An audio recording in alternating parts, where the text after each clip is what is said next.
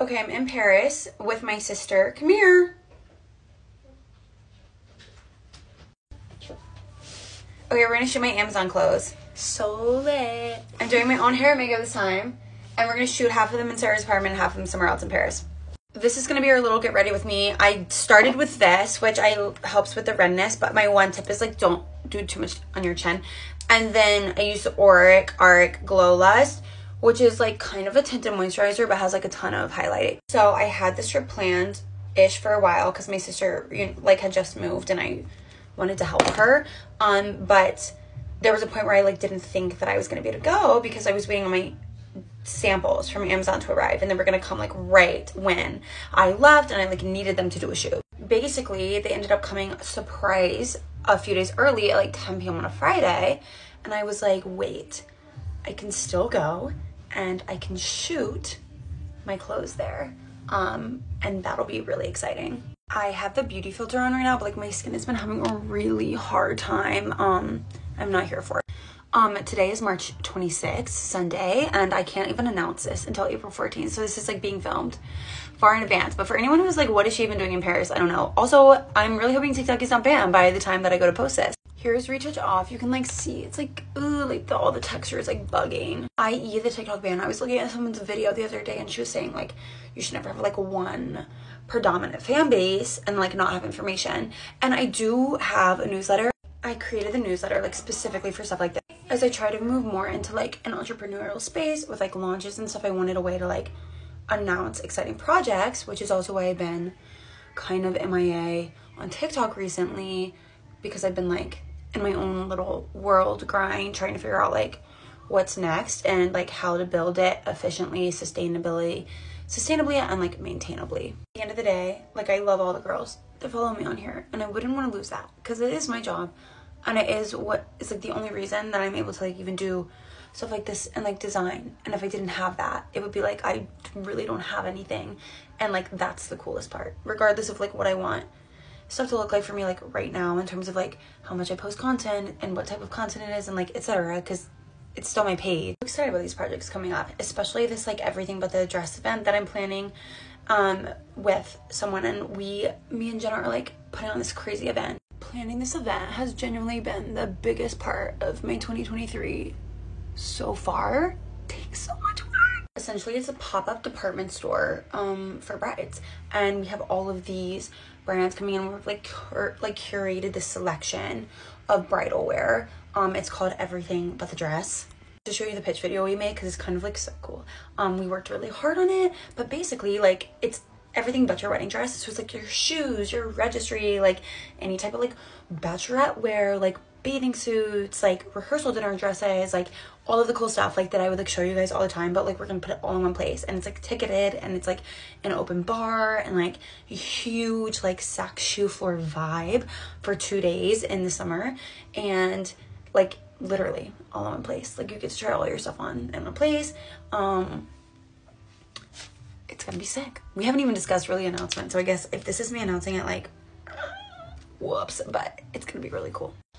Okay, so it's gonna be in the beginning of June, and the first one's in New York, but the next one is gonna be like hopefully in LA, and then we want to do like Charleston and stuff like that. It's epic. We're gonna have to go into it like more later.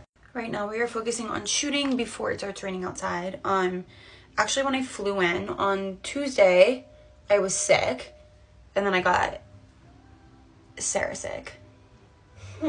Sorry. Cute. Look like a mess. No, you don't.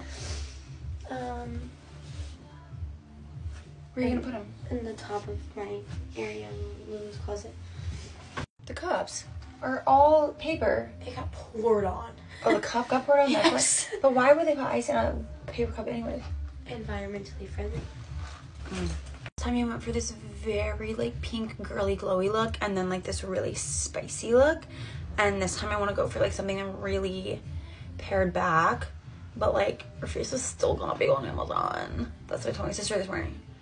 I was like, pared back. Oh, slay. This RX stuff is so cool because it's like this is cream on the bottom, and then on the top it's like powder. It's so sick. Um.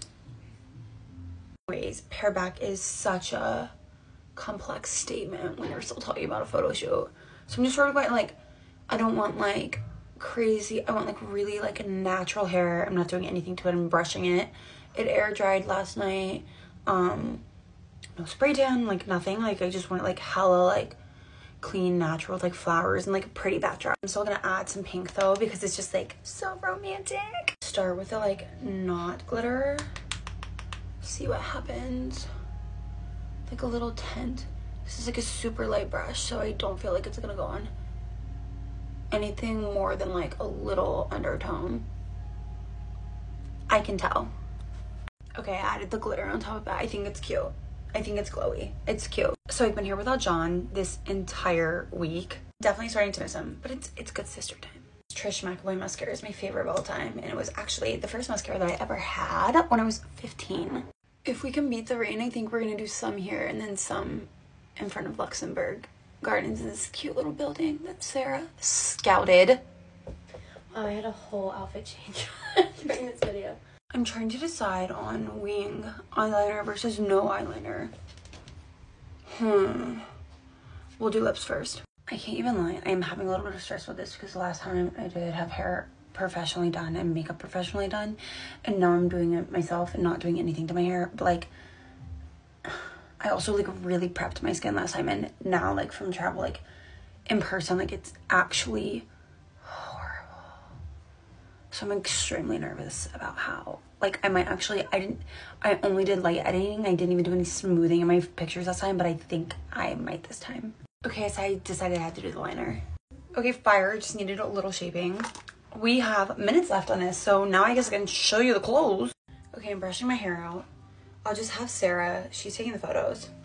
We're doing bang for your buck marketing today. But she took her engagement photos, slayed those. So I think it's gonna be fine. I think I just have to like move my hair throughout the shoot. But like honestly, I'm just I'm, I'm way more into this like who gives it like crap vibe right now. Like I've always been hella simple with like jewelry and stuff until like the past like two years. So now I'm like, this feels more me. We are trying to beat the rain. There she is. Okay, we're gonna take some pictures over here first. Okay, this is set number one. I've been trying to design this forever.